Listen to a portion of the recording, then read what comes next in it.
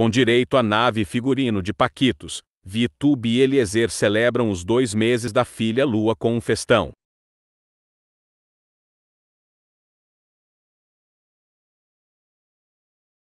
X ou da Lua, Lua de Cristal. Nossa Sussa fez dois meses, como passa rápido. Esse mês quem escolheu o tema foi o papai. Gostaram?